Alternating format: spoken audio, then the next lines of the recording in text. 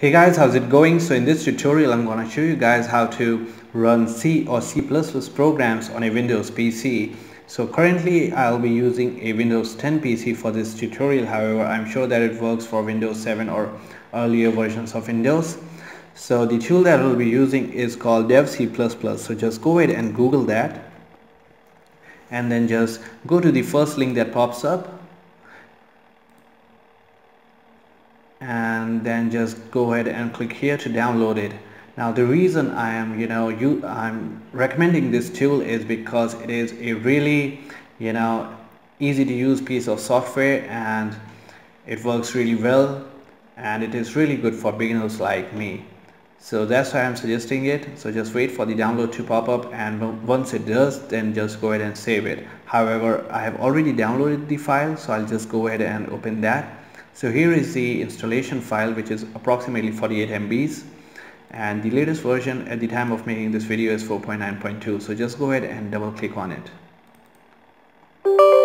So it will prompt you to select a language and choose whichever language you prefer. In my case I'll be using English and then quickly read the terms of agreement and then click on I agree and then choose the full installation type and then click on next and then you can choose the you know destination folder for the installation to take place. However I just leave it to the default value and then click on install.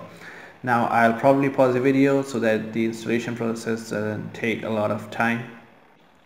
Okay so once the software is installed it will show you this screen and just make sure that this checkbox is selected and click on finish so now it will open the screen that shows up only at the first time that you launch the program. So just select whichever language you please. I'll be choosing English then click on next and then it will ask you to select various options like font color icons and themes and all sorts of stuff but I'll just stick to the default values and click on next and then click on OK. So if you get this screen after the installation then that means that your compiler or IDE has installed perfectly and now you can begin to write your first C or C++ program on your Windows PC. So to create a new file just go ahead and click on here and select source file. So now you can begin typing your program. So I'll just uh, type out a super short program for a C language.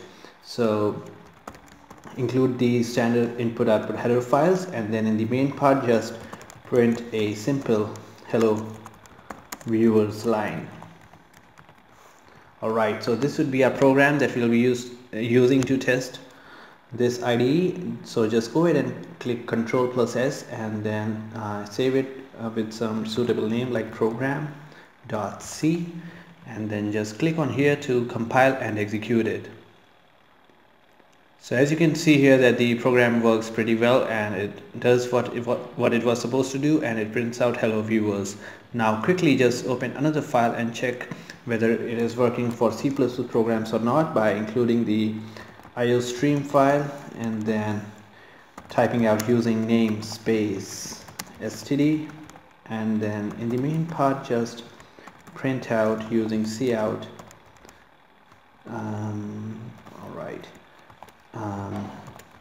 hello viewers.